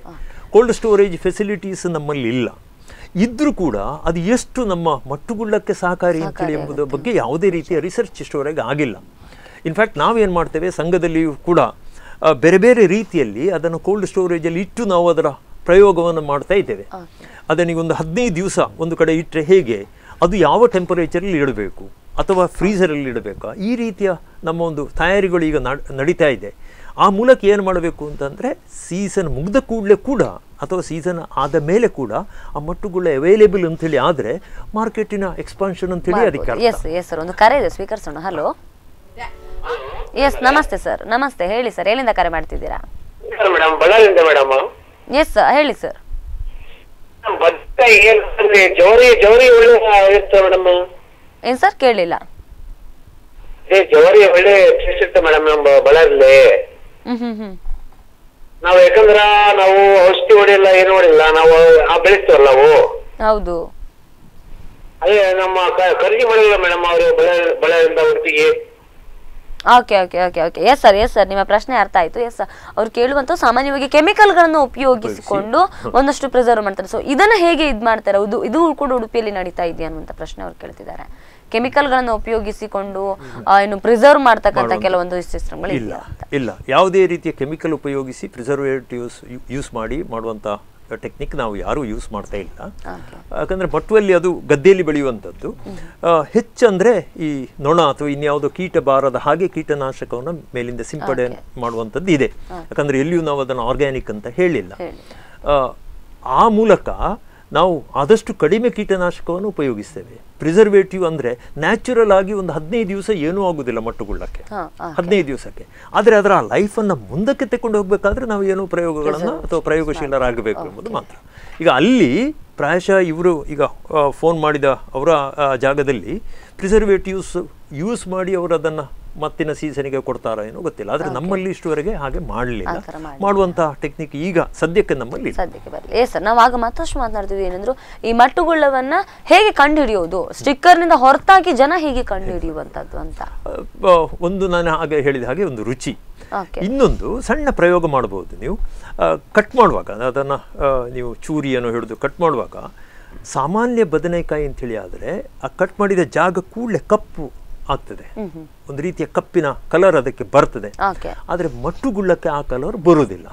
ಇದು ಒಂದು ರೀತಿಯಲ್ಲಿ ನೀವು ಸುಲಭದಲ್ಲಿ ಐಡೆಂಟಿಫೈ ಮಾಡಬಹುದು ಎರಡನೇದು ಖಾಲಿ ನೀರಿಗೆ ಹಾಕಿ ಇದನ್ನು ಬೇಯಿಸುವಾಗ ಕೂಡ ಬೇರೆ ಗುಳ್ಳ ಅಥವಾ ಬೇರೆ ಬದನೆ ಅಂತೇಳಿ ಆದರೆ ಅದೊಂದು ರೀತಿ ಕಪ್ಪಾಗ್ತದೆ. ಮಟ್ಟುಗುಳ್ಳ ಕಪ್ಪಾಗೋದಿಲ್ಲ. ಅದು ಎರಡು ವ್ಯತ್ಯಾಸ. ಬೇಯಿಸುವಾಗ ಮತ್ತೆ ರುಚಿಯಲ್ಲಿ ಖಂಡಿತವಾಗಿಯೂ ನೀವು ಡಿಫರೆನ್ಸಿಯೇಷನ್. ಮಾಡಬಹುದು ಗ್ರೀನ್ ಪಟ್ಟಿಯಲ್ಲಿ ಗೊತ್ತಾಗ್ತದೆ. ಗ್ರೀನ್ ಪಟ್ಟಿ. ಮತ್ತೆ ಅದರಲ್ಲೊಂದು ಗ್ರೀನ್ ಪಟ್ಟಿ ಬರ್ತದೆ. ರೌಂಡ್ ಶೇಪ್ ಇರ್ತದೆ ಓಕೆ ಸೊ ತುಂಬಾ ರೌಂಡ್ ಡಾರ್ಕ್ ಇರುತ್ತೆ ಡಾರ್ಕ್ ಗ್ರೀನ್ ಪಟ್ಟಿ ಬರ್ತದೆ. ಓಕೆ ಒಂದು ಕರೆ ಇದೆ. ಸ್ವೀಕರಿಸೋಣ ಹಲೋ ಹಲೋ ಹಲೋ ಎಸ್ ನಮಸ್ತೆ ಸರ್ ಹೇಳಿ ಎಲ್ಲಿಂದ ಕರೆ ಮಾಡ್ತಿದ್ದೀರಾ? ಮೇಡಮ್ ಬಳ್ಳಾರಿಯಿಂದ ಮೇಡಮ್ ಮಾತಾಡೋದು. ಎಸ್ ಹೇಳಿ ಸರ್ ಹೇಳಿ. ಮೇಡಮ್ ನಮ್ಮ ಬಳ್ಳಾರಿಯಿಂದ ಯಾಕಂದ್ರೆ ಔಷಧಿ ಎಲ್ಲ ಸಿಂಪಡಣೆ ಮಾಡಕ್ಕೆ ಮೇಡಮ್ ನಾವು. ಹ್ಮ್ ಹ್ಮ್ ಹ್ಮ್. ಹೌದು ಸರ್ ಹೇಳಿ. ಆ, ಅದು ಬಳ್ಳಾರಿಯಿಂದ ಕಳಿಸೋದು ಮೇಡಮ್ ನಾವು ಬಳ್ಳಾರಿಯಿಂದ? ನಾವು. ಬಳ್ಳಾರಿಯಿಂದ ಉಡುಪಿಗಳಿಗೆ ಹೇಗೆ ವಿಸ್ತರಣೆ ಮಾಡುವಂತದ್ದು ಅಂತಲಾ? ಎಸ್ ಸರ್ ಬಹುಶಃ ಇಲ್ಲೊಂದು ಕಡೆ ಮಾರುಕಟ್ಟೆ ವಿಸ್ತರಣೆಯ ಬಗ್ಗೆ ಕೂಡ ಹೇಳಿದೆ ಧನ್ಯವಾದಗಳು ಸರ್ ನಿಮ್ಮ ಪ್ರಶ್ನೆ ಅರ್ಥ ಆಯ್ತು. ಎಸ್ ಬಹುಶಃ ಆ, ಬಳ್ಳಾರಿ ಅಂತ ಪ್ರದೇಶಗಳಿಂದ ಕೂಡ ಇಲ್ಲಿಗೆ ಏನು ಒಂದಷ್ಟು ಏನು ತರಕಾರಿಗಳು ಇದಾಗ್ತವೆ ಬರ್ತಾ ಇರ್ತವೆ. ಸೊ ಹಾಗೇನೆ ಒಂದು ಪ್ರದೇಶನ ಉಡುಪಿಯಿಂದ ಇನ್ನೊಂದು ಪ್ರದೇಶಗಳಿಗೆ ಏನು ಟ್ರಾನ್ಸ್ಫರ್ ಮಾಡ್ತಕ್ಕಂಥ ಸಂದರ್ಭದಲ್ಲಿ ಮಟ್ಟುಗುಳವನ್ನು ಹೇಗೆ ಪ್ರಿಸರ್ವ್ ಮಾಡ್ಕೊಳ್ಬಹುದು ಅಂತ? ಮಟ್ಟುಗಳು ಅಂತೇಳಿ ಟ್ರಾನ್ಸ್ಫರ್ ನಾವು ಮಾಡ್ತೀವಿ ಈಗ. ಮಂಗಳೂರಿಗೆ ಹಾಕಿ ಬ್ಯಾಂಗ್ಳೂರು ಬಾಂಬೆ ಈ ಥರ ನಾವು ಟ್ರಾನ್ಸ್ಫರ್ ಮಾಡ್ತೀವಿ. ಆದ್ರೆ ಇದಕ್ಕೆ ಒಂದು ವಾರದ ಮಟ್ಟಿಗೆ ಏನಾಗಲ್ಲ. ಇದು ಬಳ್ಳಾರಿ ಮತ್ತೆ ಬಾಂಬೆ ಒಂದು ದಿವಸದಲ್ಲಿ ಟ್ರಾನ್ಸ್ಪೋರ್ಟ್ ಆಗುವಂಥದ್ದು. ಒಂದು ಇವತ್ತು ಕೊಯ್ಲಾಗಿ ಇವತ್ತು ಪ್ಯಾಕಿಂಗ್ ಆದರೆ ನಾಳೆ ಬೆಳಿಗ್ಗೆನೆ ಹೋಗಿ ಮುಟ್ತದೆ. ರಿಸರ್ವೇಶನ್ ಪ್ರಶ್ನೆ ಬರೋದಿಲ್ಲ. ಅಗತ್ಯ ಇಲ್ಲ. ಓಕೆ ಓಕೆ ಎಸ್ ಬಹುಶಃ ಈ ವಿಷಯದಲ್ಲಿ ಇನ್ನು ಇನ್ನೊಂದಷ್ಟು ಸ್ಟೆಪ್ಸ್ ನಾವು ಮುಂದೆ ಹೋಗಬೇಕಾಗ್ತದೆ ಅನ್ನುವಂಥದ್ದು ಬಹಳ ಸ್ಪಷ್ಟ. ಎಕ್ಸ್ಪೋರ್ಟ್ ಮಾಡ್ತಕ್ಕಂಥ ಸಂದರ್ಭ ಒಂದಷ್ಟು ರೂಲ್ಸ್ಗಳಿದೆ ಅಂತ. ಸೊ ಈಗ ಇರತಕ್ಕಂಥ ಸ್ಟಿಕ್ಕರಿಗೆ ಯಾವ ರೀತಿಯ ರೂಲ್ಸ್ಗಳು ಅಡಚಣೆಗಳು ಬರಬಹುದು ಅಂತ? ಈಗ ನೀವು ಈಗ ಎಕ್ಸ್ಪೋರ್ಟ್ ಮಾಡೋದಕ್ಕೆ ಸ್ಟಿಕ್ಕರ್ನಲ್ಲಿ ಈಗ ಇರ್ತಕ್ಕಂಥ ಹಾ, ಆ, ನೋಡಿ ಎಕ್ಸ್ಪೋರ್ಟ್ ಲೈಸೆನ್ಸಿಂಗ್ ಎಂಬುದಕ್ಕೆ ದೊಡ್ಡ ಪ್ರೋಸೆಸ್ ಇದೆ. ಅದಕ್ಕೆ ಕೆಲವೆಲ್ಲ ಕಂಪ್ಲೈನ್ಸಸ್ ಕೂಡ ನಾವು ಮಾಡಬೇಕಾಗತ್ತೆ. ಮನುಷ್ಯಂದು ಚಿತ್ರ ಅಥವಾ ಇನ್ಯಾವುದೋ ಒಂದು ಸಿಂಬಾಲ್ ಇರುವಂಥದ್ದು ಅದು ರೆಕಗ್ನೈಸ್ಡ್ ಅಲ್ಲದೇ ಇದ್ದರೆ ಎಕ್ಸ್ಪೋರ್ಟಿಗೆ ಅದು ಎಕ್ಸ್ಪೋರ್ಟ್ ಮಾಡಲಿಕ್ಕೆ ಸಾಧ್ಯ ಇಲ್ಲ. ಕೃಷಿಗೆ ಸಂಬಂಧಪಟ್ಟ ಹಾಗೆ ಮತ್ತೆ ಕೆಲವೆಲ್ಲ ಅಡಚಣೆಗಳು ಕೂಡ ಅದರಲ್ಲಿದೆ. ಹಾಗಾಗಿ ನಾವೇನು ಮಾಡ್ತಾ ಇದ್ದೇವೆ ಈಗ ಫಸ್ಟಿಗೆ ಎಕ್ಸ್ಪೋರ್ಟ್ ಲೈಸೆನ್ಸಿಗೆ ನಾವು ಅಪ್ಲೈ ಮಾಡ್ತಾ ಇದ್ದೇವೆ. ಎಕ್ಸ್ಪೋರ್ಟ್ ಲೈಸೆನ್ಸಿಂಗ್ ಮಾಡುವಾಗ ವಿದ್ ಸ್ಟಿಕ್ಕರ್ ಅಥವಾ ವಿದೌಟ್ ಸ್ಟಿಕ್ಕರ್ ಇದು ಎರಡು ನಮ್ಮಲ್ಲಿ ಆಪ್ಷನ್ ಇದೆ. ಯಾಕಂದರೆ ಹೊರಗಡೆ ಹೋಗುವಾಗ ಅವರಿಗೆ ಸ್ಟಿಕ್ಕರ್ನ ಅವಶ್ಯಕತೆ ಇಲ್ಲ ಅಂತೇಳಿ ಆದರೆ only packaging will be do ಆ ಪ್ಯಾಕ್ ಯಾವ ರೀತಿ ಇರಬೇಕು ಅಂತ ಅವರಲ್ಲಿ ಸ್ಪೆಸಿಫಿಕೇಶನ್ ಇರುತ್ತೆ. ವಿತ್ ಪ್ಯಾಕೇಜಸ್ ಕಳಿಸೋದು? ಸ್ಟಿಕ್ಕರ್ ಬೇಡ. ಪ್ಯಾಕೇಜ್ ನಲ್ಲೇ ಎಲ್ಲ ಈಗ ನೋಡಿ, ಬಂದಿದೆ. ಪ್ರಪೋಸಲ್ ಬಂದಿದೆ ಹೌದು. ಅಂದ್ರೆ ಐದು ಕೆ ಜಿ ಪ್ಯಾಕ್ ಅಂದ್ರೆ ಈ ಕಾಗದ ಚೂರಿಂದ ಪ್ಯಾಕ್ ಮಾಡಿ ಕೊಡಿ ಅಂತ ಹೇಳಿ ಹೌದು ಯಾಕಂದ್ರೆ ಅದು ಐದೈದು ಕೆ ಜಿದು ಅಂದರೆ ಟ್ರಾನ್ಸ್ಪೋರ್ಟ್ಗೆ ಮತ್ತೆ ಯಾರಿಗೆ ಲೋಡ್ ಮಾಡ್ಲಿಕ್ಕೆ ಇದಕ್ಕೆ. ಮತ್ತೆ ಅದಕ್ಕೆ ಸ್ಟಿಕ್ಕರ್ನ ಅಗತ್ಯ ಇರುವುದಿಲ್ಲ. ನೀವೇ ಪ್ಯಾಕೇಜ್ ಮಾಡೋದ್ರಿಂದ ನೀವೇ ಅದರ ಮೇಲೆ ಕ್ವಾಲಿಟಿ ಅದಕ್ಕೊಂದು ಸ್ಟಿಕ್ಕರ್ ಬೇರೆನೇ ಮಾಡುವ ಒಂದು ಅದು ಕೂಡ ಇದೆ. ಯೋಚನೆ ಕೂಡ ಇರುವಂತ ಎಕ್ಸ್ಪೋರ್ಟ್ ಕ್ವಾಲಿಟಿ ಮತ್ತೆ ಫಸ್ಟ್ ಗ್ರೇಡಿಗೆ ಸೆಕೆಂಡ್ ಗ್ರೇಡ್ ಈ ತರ ಸ್ಟಿಕ್ಕರ್ ಅಲ್ಲಿ ಕೂಡ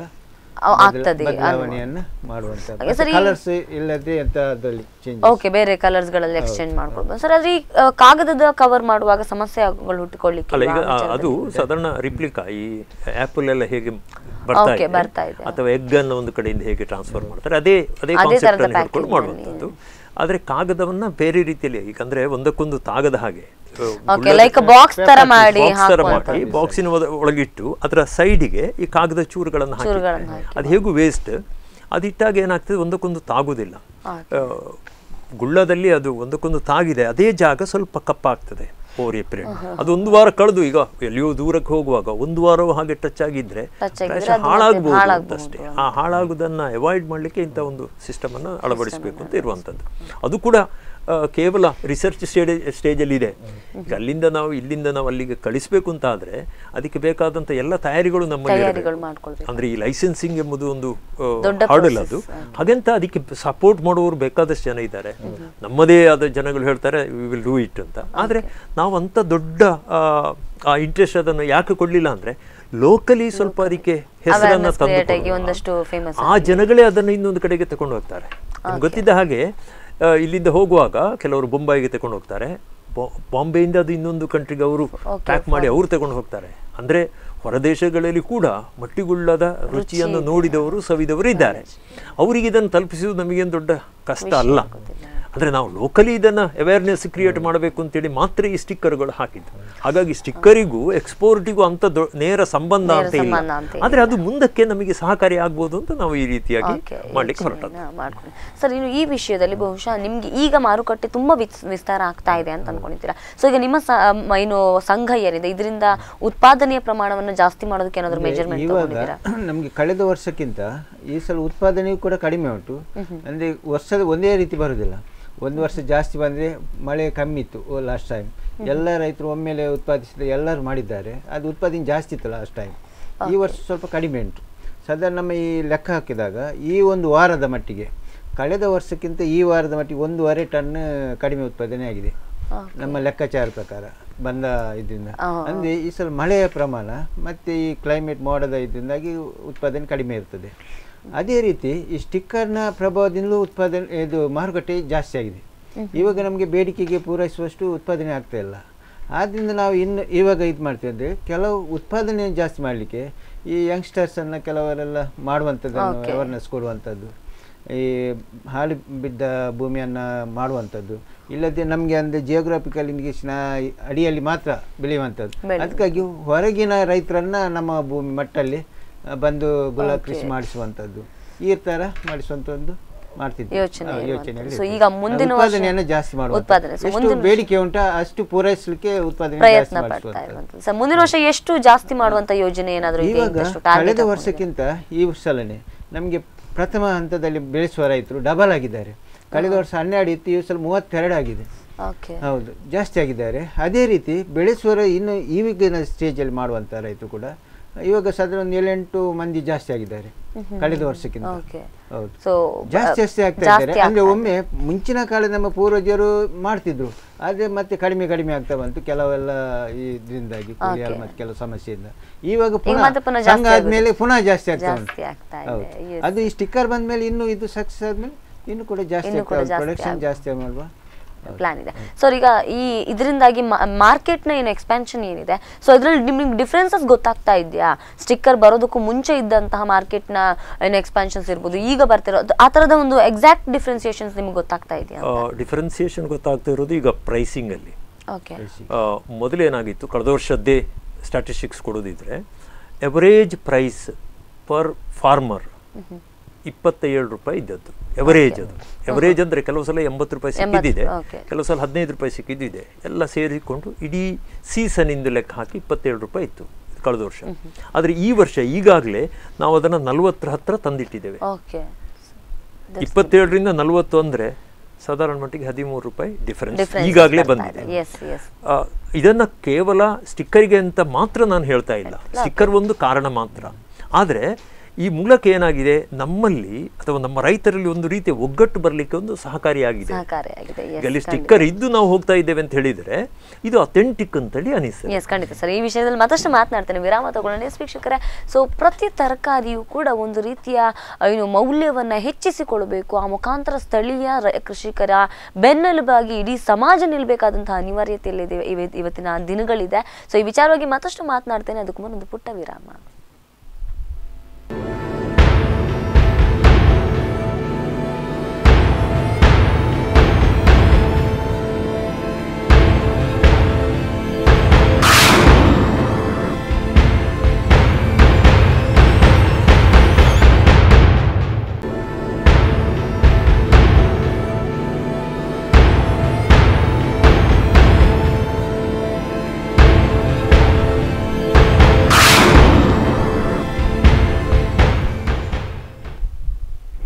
ರಾಮದ ಬಳಿಕ ಮತ್ತೊಮ್ಮೆ ಕರೆಂಟ್ ಅಫೇರ್ಸ್ಗೆ ಸ್ವಾಗತ. ಎಸ್ ವೀಕ್ಷಕರೇ ಮಟ್ಟುಗುಳಕ್ಕೂ ಸ್ಟಿಕ್ಕರ್ ಬಂದಿದೆ. ಆ ಮುಖಾಂತರ ಉಡುಪಿಯ ಹೆಗ್ಗಳಿಕೆಯಾಗಿರ್ತಕ್ಕಂತಹ ಮಟ್ಟುಗುಳಕ್ಕೆ ಒಂದು ರೀತಿಯ ಇಂಡಿಕೇಶನ್ ಒಂದು ರೀತಿಯ ಮಾರುಕಟ್ಟೆ ಸಿಕ್ಕಿರುವಂಥದ್ದು ಮಟ್ಟುಗುಳವನ್ನು ಬೆಳೀತಿರ್ತಕ್ಕಂತಹ ರೈತನ ಮುಖದಲ್ಲಿ ಈಗ ನಗು ಮೂಡಿದೆ. ಸೊ ಈ ವಿಚಾರವಾಗಿ ಮತ್ತಷ್ಟು ಮಾತನಾಡ್ತೇನೆ. ನಿಮ್ಮ ಅಭಿಪ್ರಾಯಗಳನ್ನು ಕೂಡ ಕೇಳ್ತೇನೆ. ಈ ಸರ್ ನಾವು ಆಗಲೇ ಮಾತನಾಡ್ತಾ ಇದ್ದೀವಿ. ಬಹುಶಃ ಈ ತರಹದ ಪ್ರಯತ್ನಗಳು ಇನ್ನೂ ಜಾಸ್ತಿ ಆಗ್ತಾ ಹೋದ ಹಾಗೆ ಮಾರುಕಟ್ಟೆ ಮತ್ತೆ ಮತ್ತೆ ವಿಸ್ತರಣೆ ಆಗ್ತದೆ ಬಹುಶಃ ಮಟ್ಟುಗುಳದ ಜೊತೆಗೆ ಬೇರೆ ಯಾವ ಏನು ಯೋಜನೆಗಳನ್ನ ಈ ಮುಖಾಂತರ ಹಾಕಿಕೊಳ್ಬಹುದು ಅಂತ ಮಾರುಕಟ್ಟೆ ವಿಸ್ತರಣೆಗೋಸ್ಕರ. ನಮ್ಮ ನಬಾರ್ಡ್ ಪ್ರಾಜೆಕ್ಟ್ ಹೇಳೋದಿದ್ರೆ ಮಟ್ಟು ಎಂಬುದು ಒಂದು ಕ್ಲಸ್ಟರ್ ನಮ್ಮಲ್ಲಿ. ಅದರೊಟ್ಟಿಗೆ ನಮ್ಮಲ್ಲಿ ಮತ್ತೆರಡು ಕ್ಲಸ್ಟರ್ಗಳು ಇವೆ. ಒಂದು ಒಂದು ಕುಕ್ಕೆಹಳ್ಳಿ ಅಂತ ನಿಮಗೆ ಗೊತ್ತಿರಬಹುದು ಮತ್ತೊಂದು ಬೆನೆಗಲ್ ಅಂತ ಕೊಕ್ಕರ್ಣೆ. ಬೆನೆಗಲ್ಲಲ್ಲಿ ಕೂಡ ಈ ರೀತಿಯ ಬದನೆ ಬೆಳೀತಾರೆ ಕುಕ್ಕೆಹಳ್ಳಿಯಲ್ಲಿ ಸೊಪ್ಪು ತರಕಾರಿಗಳು ಬೆಳೀತವೆ. ಈ ಅದೆರಡು ಕೂಡ ನಮ್ಮ ಈ ನಬಾರ್ಡ್ ಪ್ರಾಜೆಕ್ಟಲ್ಲಿ ಬರುವಂಥದ್ದು. ಮಾರುಕಟ್ಟೆ ವಿಸ್ತರಣೆ ಅಂತ ತಾವು ಹೇಳಿದ್ರಿ ಆದರೆ ಮಾರುಕಟ್ಟೆ ವಿಸ್ತರಣೆ ಮೊದಲು ನಾವು ಅದರ ಹಿಂದೆ ಅದನ್ನು ಯಾರು ಸಪ್ಲೈ ಮಾಡ್ತಾನೆ ಅವನ ವಿಸ್ತರಣೆ ಆಗದೆ ಮಾರುಕಟ್ಟೆ ವಿಸ್ತರಣೆ ಮಾಡಿ ಏನು ಪ್ರಯೋಜನ ಇಲ್ಲ. ನಾವೊಂದು ಪಾಸಿಟಿವ್ ಆಗಿ ಒಂದು ಸ್ಟೆಪ್ ತಗೊಂಡಿದ್ದೇವೆ ಈಗ ಸ್ಟಿಕ್ಕರ್ ಹಾಕುವ ಮೂಲಕ ಮಾರುಕಟ್ಟೆಯಲ್ಲಿ ನಮ್ಮ ಮಟ್ಟುಗುಳ್ಳವನ್ನು ಜನರಿಗೆ ಪರಿಚಯಿಸುವಂಥದ್ದು ಅದರ ಜೊತೆಗೆ ನಮ್ಮಲ್ಲಿ ಒಂದು ಜವಾಬ್ದಾರಿ ಇದೆ. ನಮ್ಮ ಸಂಘಕ್ಕೆ ಏನು ಜವಾಬ್ದಾರಿ ಅಂದರೆ ಯಾರೆಲ್ಲ ಆ ತರಕಾರಿ ಮಾಡೋದನ್ನು ಬಿಟ್ಟಿದ್ದಾರೋ ಅವರನ್ನು ಪುನಃ ಇದಕ್ಕೆ ಕರೆತರುವಂಥದ್ದು ಯಂಗ್ಸ್ಟರ್ಸ್ಗಳನ್ನು ಪುನಃ ಇದಕ್ಕೆ ಕರೆತರುವಂಥದ್ದು ಇದರಲ್ಲಿ ಒಂದು ಪ್ರಯತ್ನ ಈ ಸ್ಟಿಕ್ಕರು. ನಾನು ಅದರ ಇಡೀ ಚೈನ್ ಹೇಳೋದಿದ್ರೆ ಸ್ಟಿಕ್ಕರ್ ಹಾಕುವ ಮೂಲಕ ಪ್ರೊಡ್ಯೂಸಿಗೆ ಯಾವುದೋ ಒಂದು ರೀತಿಯ ದರ ನಿಗದಿ ಆಗ್ತದೆ ದರ ಸಿಗ್ತದೆ. ಆ ದರ ಸಿಕ್ಕಿದ್ರೆ ಮಾತ್ರ ಅವನಿಗೆ ಅದನ್ನು ಬೆಳಿಬೇಕು ಎಂಬ ಒಂದು ಮೋಟಿವೇಶನ್ ಬರ್ತದೆ. ಸರ್ ಒಂದು ಕರೆ ಇದೆ. ಸ್ವೀಕರಿಸೋಣ. ಹಲೋ ಹಲೋ ಹಲೋ ನಮಸ್ತೆ ಸರ್ ಹೇಳಿ ಎಲ್ಲಿಂದ ಕರೆ ಮಾಡ್ತಿದ್ದೀರಾ? ಮತ್ತೆ ನಾನು ಆದಿಕೋಟೆ ಅಂತ ಕಪ್ಪಾಡಿಯಿಂದ ಮತ್ತುಗೊಳ್ಳದ ಬಗ್ಗೆ ಸ್ವಲ್ಪ ಮಾತಾಡ್ಬೇಕಾಗಿದೆ. ಎಸ್ ಸರ್ ಮಾತಾಡಿ ಮಾತಾಡಿ ಖಂಡಿತ. ನಮಸ್ಕಾರ ಲಕ್ಷ್ಮಣ್ ರವರು. ನಮಸ್ತೆ ಬನ್ನಿ. ಎಸ್ ಸರ್ ಹೇಳಿ. ಈಗ ಪೇಟೆಂಟ್ ಎಲ್ಲ ಬಂದಿದೆ ಬಹಳ ಖುಷಿಯಾಗಿದೆ ನಮಗೆ. ಓಕೆ ಮತ್ತುಗಳ ಇವತ್ತು ನಾನು ಬಾಂಬೆಗೆ ಒಂದು ಎರಡು ಕೆಜಿ ದುಬೈಗೆ ಒಂದು ನಾಲ್ಕು ಕೆಜಿ ಕಳಿಸಿದ್ದೇನೆ. ಓಕೆ ವಿಷಯ ಏನಂದ್ರೆ ನಮ್ಗೆ ಒಂದು ಐವತ್ತು ವರ್ಷ ಆದ್ರೂ ಮತ್ತುಗಳದ ಮೊದಲಿನ ಟೇಸ್ಟ್ ಈಗ ಇಲ್ಲ. ಅದಕ್ಕೆ ಕಾರಣ ಏನಂತ ತಿಳಿಬಹುದಾ ಎಸ್ ಅದಕ್ಕೆ ಬಹುಶಃ ಜೋಶಿ ಸರ್ ಬಹಳ ಸೈಂಟಿಫಿಕಲ್ ಆನ್ಸರ್ ಕೊಡ್ಬಹುದು ಅಂತ ಅನ್ಸುತ್ತೆ. ಎಸ್ ಸರ್ ಖಂಡಿತ. ಯಾಕಂದ್ರೆ ಆ ಮೊದಲಿನ ಟೇಸ್ಟ್ ಈಗ ಇಲ್ಲ ಎಂಬುದನ್ನು ನಾನು ಒಪ್ಕೊಳ್ತೇನೆ. ಯಾವಾಗಲೂ ಸಾಯಿಲ್ ಇರೋಷನ್ ಅಥವಾ ಜಾಗದ ಮಣ್ಣಿನ, ಮಣ್ಣಿನ ಗುಣ ವ್ಯತ್ಯಾಸ ಆಗಿಯೇ ಆಗ್ತದೆ.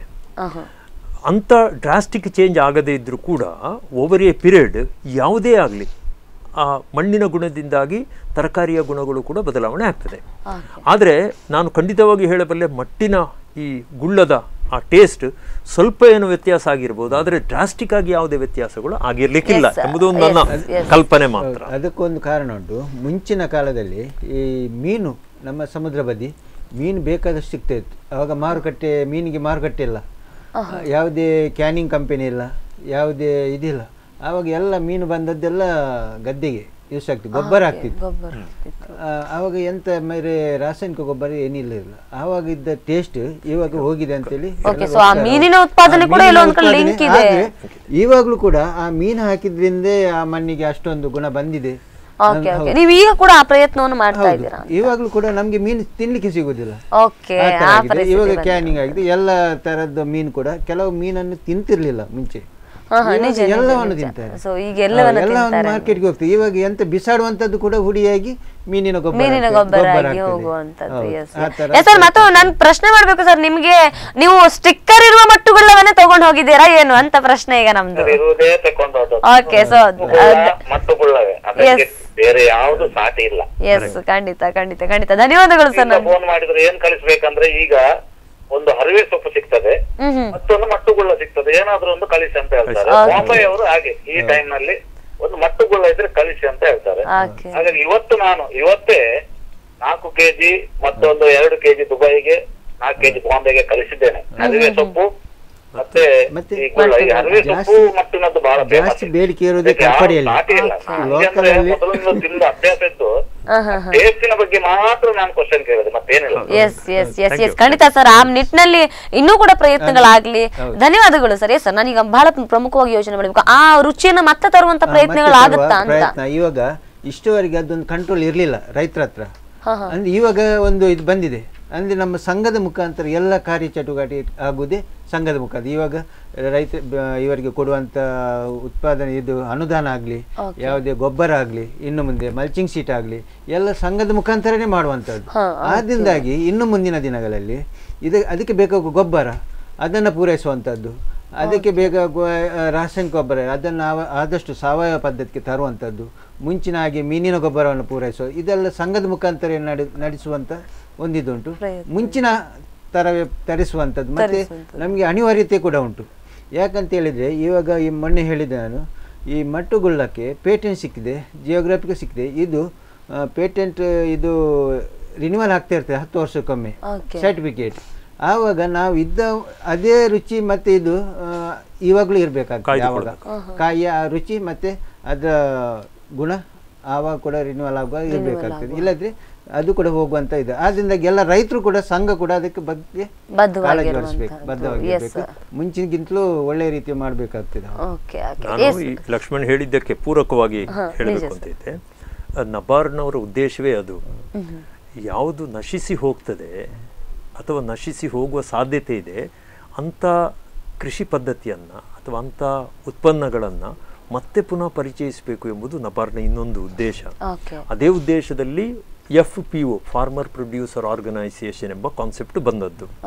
ಕರ್ನಾಟಕದಲ್ಲಿ ಅದೆಷ್ಟೋ ಎಫ್ ಇ ಒಗಳಿವೆ. ಇಡೀ ದೇಶದಲ್ಲಿ ಸಾವಿರಗಟ್ಟಲೆ ಎಫ್ ಇ ಒಗಳು ಈಗ ಕಾರ್ಯಾಚರಣೆ ಮಾಡ್ತಾ ಇದೆ. ನಮ್ಮ ಯೂನಿವರ್ಸಿಟಿಯ ಒಂದು ಯ- ಕೆಲವು ಕಾರ್ಯಗಳನ್ನು ನೋಡಿ ಅವ್ರಿಗೆ ಖುಷಿಯಾಗಿ ನಬಾರ್ಡ್ನವರು ನಮ್ಮ ಎಪ್ರೋಚ್ ಆದರು ನೀವು ಎಫ್ ಇ ಒ ಮಾಡ್ತೀರಾ ಅಂತ. ಹಾಗೆ ಮಾಡಿದ ಎಫ್ ಇ ಒಗಳಲ್ಲಿ ಮಟ್ಟುವಿನ ಎಫ್ ಇ ಒಗಳು ಒಂದು. ಅಲ್ಲಿ ರೈತರ ಒಗ್ಗಟ್ಟನ್ನು ತರಬೇಕು ಎಂಬುದು ಒಂದು ಕಾನ್ಸೆಪ್ಟ್ ಆದರೆ ಇನ್ನೊಂದು ಏನಪ್ಪ ಅಂದರೆ ಅದು ನಶಿಸಿ ಹೋಗದಾಗೆ ಅದನ್ನು ಕಾಪಾಡಿಟ್ಟುಕೊಳ್ಳುವಂಥದ್ದು. ಇದು ಇನ್ನೊಂದು ದೊಡ್ಡ ಮಹತ್ವದ ಕೆಲಸ ಇದು. ಇಲ್ಲದಿದ್ದರೆ ಎಲ್ಲರೂ ಏನು ಮಾಡ್ತಾರೆ ಅವರವರ ಉತ್ಪಾದನೆ ಏನಿದೆ ಅಷ್ಟಕ್ಕೆ ಅವರ ಮಾರುಕಟ್ಟೆ ಸೀಮಿತ ಸೀಮಿತ ಯಾರು ಅದನ್ನು ಒಟ್ಟಾಗಿ ತರೋದಿಲ್ಲ. ಒಟ್ಟಾಗಿ ಎಲ್ಲಿ ಬರುವುದಿಲ್ವೋ ಅದರ ದರ ನಿಗದಿ ಕೂಡ ಅವನೇ ಮಾಡ್ತಾನೆ. ನಿಮಗೆ ಗೊತ್ತಿದ್ದ ಹಾಗೆ ದರ ನಿಗದಿ ಎಂಬುದು ಒಂದು ದೊಡ್ಡ ಸಮಸ್ಯೆ ಆಗಿತ್ತು. ನಮ್ಮ ಪ್ರೈಮರಿ ಸ್ಟಡಿಯಲ್ಲಿ ನಮ್ಮ ನಾವು ಏನನ್ನು ಕಂಡುಕೊಂಡದ್ದು ಅಂದರೆ ಮಟ್ಟುಗುಳ್ಳವನ್ನು ಉಳಿಸಬೇಕು ಅಂತೇಳಿ ಆದರೆ ಮಟ್ಟುಗುಳ್ಳಕ್ಕೆ ಒಳ್ಳೆ ಬೆಲೆ ಬರಬೇಕು. ಒಳ್ಳೆ ಬೆಲೆ ಬಂದರೆ ಆ ರೈತನಿಗೆ ಅದು ಆ ಬೆಲೆ ಅಷ್ಟು ಅವನಿಗೂ ಸಿಗಬೇಕು. ಬೆಲೆ ಮಾರ್ಕೆಟಲ್ಲಿ ಎಷ್ಟು ಇರುತ್ತದೆ ಆದರೆ ಅದು ರೈತನ ಕಿಸಿಗೆ ಹೋಗ್ತದೆ ಅಂತ ಹೇಳೋದಕ್ಕೆ ಯಾವುದೇ ಗ್ಯಾರಂಟಿ ಇಲ್ಲ ಅಂದರೆ ಯಾವುದೇ ಟ್ರೆಡಿಷನ್ ಅನ್ನ ಬ್ರೇಕ್ ಮಾಡ್ತೇವೆ ಅಂತ ನಾನು ಹೇಳೋದಲ್ಲ. ಈಗ ಮೊದಲಿಂದ ಏನಾಗಿದೆ ರೈತ ಅವನು ಉತ್ಪಾದನೆ ಮಾಡಿ ಅದು ಮಾರುಕಟ್ಟೆಗೆ ತಲುಪುವಾಗ ನಡುವೆ ತುಂಬಾ ಚೈನ್ಗಳಿದ್ದವು ನಾವು ಅದನ್ನ ಮಿಡ್ಲ್ ಮ್ಯಾನ್ ಅಂತ ಕರಿಬಹುದು ಅಥವಾ ಏಜೆಂಟ್ಸ್ ಅಂತ ಕರಿಬಹುದು ಯಾರೋ ಯಾರೋ ಆಗಿರ್ಬೋದು. ಆದರೆ ಆ ಟ್ರೆಡಿಷನ್ ಅನ್ನ ಬೇಕ್ ಬ್ರೇಕ್ ಮಾಡಿ ಅಂತ ಹೇಳೋದಲ್ಲ ಇದನ್ನ ಒಟ್ಟಾಗಿ ನಾವು ಮಾರುಕಟ್ಟೆ ಕೊಟ್ಟಾಗ ನಮ್ಮಲ್ಲಿ ಒಂದು ಶಕ್ತಿ ಬರ್ತದೆ. ಇದರದ್ದು ರೇಟ್ ಇಷ್ಟು. ಈಗ ಪ್ರತಿ ಶನಿವಾರ ಮಟ್ಟುವಲ್ಲಿ ಅದರ ಬಗ್ಗೆ ಒಂದು ಮೀಟಿಂಗ್ ಆಗ್ತದೆ. ಮೀಟಿಂಗ್ ಅಲ್ಲಿ ದರ ಇಷ್ಟು ಅಂತ ನಿಗದಿ ಮಾಡ್ತಾರೆ. ಇಡೀ ವಾರಕ್ಕೆ ಆ ದರದಲ್ಲೇ ಅವರು ವಹಿವಾಟು ಮಾಡ್ತಾರೆ. ಮಾಡುವ. ಹೊರಗಿನವರಿಗೆ ಅಥವಾ ಹೊರಗಿನ ಶಕ್ತಿ ಇದನ್ನು ಬ್ರೇಕ್ ಮಾಡಲಿಕ್ಕೆ ಸಾಧ್ಯ ಇಲ್ಲ ಎಂಬುದು. ಇದು ನಬಾರ್ನ ಒಂದು ಕಾನ್ಸೆಪ್ಟ್ ಎಫ್ ಯು ಕಾನ್ಸೆಪ್ಟ್ ಅದನ್ನು ಬಹಳ ಚೆನ್ನಾಗಿ ನಮ್ಮ ಮಟ್ಟಿನವರು ಮಾಡಿದ್ದಾರೆ. ಅದಕ್ಕೆ ನಾನು ಅವರನ್ನು ಅಭಿನಂದನೆ ಅವರಿಗೆ ಅಭಿನಂದನೆ ಸಲ್ಲಿಸಬೇಕು? ಅದೇ ನಾವು ಇವಾಗ ರೇಟ್ ಮಾಡುವಾಗ ನಮಗೆ ಒಂದೇ ರೇಟನ್ನು ಇನ್ಕ್ರೀಸ್ ಮಾಡುವ ಮಾರಾಟ ಮಾಡುವಂಥದ್ದೇ ಅಲ್ಲ. ಇವಾಗ ಗ್ರಾಹಕರಿಗೂ ಕೂಡ ಕಡಿಮೆ ರೇಟಲ್ಲಿ ಸಿಗಬೇಕು. ಒಂದು ಕೆಲ ಮಟ್ಟ ಬಡ ವರ್ಗದವರಿಗೂ ಕೂಡ ಕೈಗೆಟುಕುವ ದರದಲ್ಲಿ ಸಿಗಬೇಕು. ಮತ್ತು ರೈತ ಉತ್ಪಾದನೆ ಮಾಡಿದವನಿಗೂ ಸಿಗಬೇಕು. ಆವಾಗ ಈ ಇದನ್ನು ಮಿಡ್ಲ್ ಮ್ಯಾನ್ ಅವರು ಜೋಶಿಯವರು ಹೇಳಿದಾಗೆ ಅದನ್ನು ಕೂಡ ಕಡಿಮೆ ಮಾಡಬೇಕು. ಅದಕ್ಕೆ ಒಂದೊಂದು ಕಾನ್ಸೆಪ್ಟ್ ಅಂದರೆ ನಮ್ಮದು ನೇರ ಮಾರುಕಟ್ಟೆ ಕೆಲವು ರಿಟೇಲ್ ಶಾಪನ್ನು ಮಾಡುವಂಥದ್ದು ಸಂಘದ ಮುಖಾಂತರ.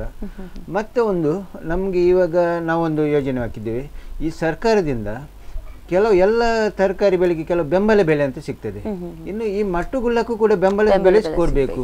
ಆವಾಗ ನಮ್ಮ ಈ ನಮ್ಮ ಈ ಸಂಘಕ್ಕೆ ಬರುವಂಥ ಆದಾಯವನ್ನ ರೈತರಿಗೆ ಕೊಡಿಸಬೇಕು. ಇಂಥ ಕೂಡ ಒಂದು ಉಂಟು. ಎಲ್ಲ ತರಕಾರಿ ಕೂಡ ಬೆಂಬಲ ಬೆಲೆ ಈಗ ತೊಂಡೆಕಾಯಿಗೂ ಕೂಡ ಬರ್ತದೆ ಎಲ್ಲ ಬೆಲೆಗೂ ಬರ್ತದೆ. ಆದ್ರೆ ನಮಗೂ ಕೂಡ ಬೆಂಬಲ ಬೆಲೆಯನ್ನ ಮಟ್ಟುಗುಳ್ಳಕ್ಕೆ ಕೊಟ್ರೆ ಅದು ಗ್ರಾಹಕರಿಗೂ ಕೊಟ್- ಕೊಟ್ಟಾಗ ಆಗ್ತದೆ. ಗ್ರಾಹಕರಿಗೂ ಕಡಿಮೆ ದರದಲ್ಲಿ ಆಗ ರೈತರಿಗೂ ಸಿಕ್ಕಿದಾಗೆ ಆಗ್ತದೆ. ಎಸ್ ಆ ನಿಟ್ಟಿನ ಮಾಡ್ತಾ ಇದ್ದೀರಾ ಅದು ಕೂಡ ಮಾಡ್ತಿದ್ದೆ. ಎಸ್ ಬಹುಶಃ ಇದಕ್ಕೆ ಕಟಪಾಡಿಯ ಪ್ರದೇಶದಲ್ಲಿ ಬಹಳಷ್ಟು ಬೇಡಿಕೆ ಇದೆ. ಜಾಸ್ತಿ ಬೇಡಿಕೆ ಉಡುಪಿ ಮತ್ತೆ ಮಂಗಳೂರು ಈ ಕಡೆ ಆ ಕಡೆ ಎಲ್ಲ ಹೋಗ್ತಿರುವಂತ. ಸೊ ನಮ್ಮ ಶಾಸಕರು ಅಥವಾ ಜನಪ್ರತಿನಿಧಿಗಳ ಜೊತೆ ಹೋಗಿದ್ದೀರಾ ಈ ಕುರಿತಾಗಿ ಏನಾದ್ರು ಮಾತನಾಡಿದ್ದೀರಾ? ಅಂದ್ರೆ ಅವರು ಕೂಡ ನಮ್ಮ ಒಟ್ಟಿಗೆ ಕೈ ಜೋಡಿಸಿದ್ದಾರೆ. ಇವಾಗ ಮಟ್ಟು ಪ್ರದೇಶಕ್ಕೆ ಬೇಕಾಗುವಂತ ಒಂದು ನಮಗೆ ಡ್ಯಾಮ್ ಆಗಲಿ ಬ್ರಿಡ್ಜ್ ಮಾಡುವಂಥ ಮಾಡುವಂತ ಒಂದು ಎಸ್ ಎಸ್ ಧನ್ಯವಾದಗಳು ಸರ್ ನಮ್ಮ ಜೊತೆ ಇಷ್ಟೊತ್ತು ಬಂದು ಬಹಳಷ್ಟು ಮಾಹಿತಿಗಳನ್ನು ನೀಡಿದಕ್ಕಾಗಿ ಇಬ್ಬರಿಗೂ ಕೂಡ ಧನ್ಯವಾದಗಳು. ಎಸ್ ವೀಕ್ಷಕರ ನೋಡಿದ್ರಲ್ಲ ಮಟ್ಟುಗುಳ್ಳ ಇಡೀ ಉಡುಪಿಯ ಒಂದು ಹೆಮ್ಮೆಯ ಗರಿ. ಸೊ ಇಂಥದ್ದೊಂದು ಪ್ರಾಚೀನ ಕಾಲದ ಒಂದು ತರಕಾರಿಯ ರುಚಿ ಅದರ ಮೌಲ್ಯವನ್ನ ಹಾಗೆ ಉಳಿಸಿಕೊಳ್ಬೇಕಾದಂತಹ ಪರಿಸ್ಥಿತಿ ಜವಾಬ್ದಾರಿ ನಮ್ಮೆಲ್ಲರ ಮೇಲಿರುವಂಥದ್ದು. ಆ ನಿಟ್ಟಿನಲ್ಲಿ ಇನ್ನು ಮುಂದೆ ಸ್ಟಿಕ್ಕರ್ ಇರ್ತಕ್ಕಂತಹ ಮಟ್ಟುಗುಳ್ಳವನ್ನ ಮಾತ್ರ ಖರೀದಿಸಿ ಆ ಮುಖಾಂತರ ಮಟ್ಟುಗುಳ್ಳವನ್ನ ಬೆಳೆತಿರ್ತಕ್ಕಂತಹ ಕೃಷಿಕನಿಗೆ ಬೆನ್ನೆಲುಬಾಗಿ ನಿಲ್ಲಿ ಅಂತಕ್ಕಂಥ ಮಾತನ್ನು ಹೇಳ್ತಾ ಈ ಕಾರ್ಯಕ್ರಮವನ್ನ ಮುಕ್ತಾಯಗೊಳಿಸ್ತಾ ಇದ್ದೇವೆ. ನಿರಂತರ ಸುದ್ದಿ, ಮನರಂಜನೆಗಾಗಿ ವೀಕ್ಷಿಸ್ತಾ ಇರಿ ಸ್ಪಂದನ.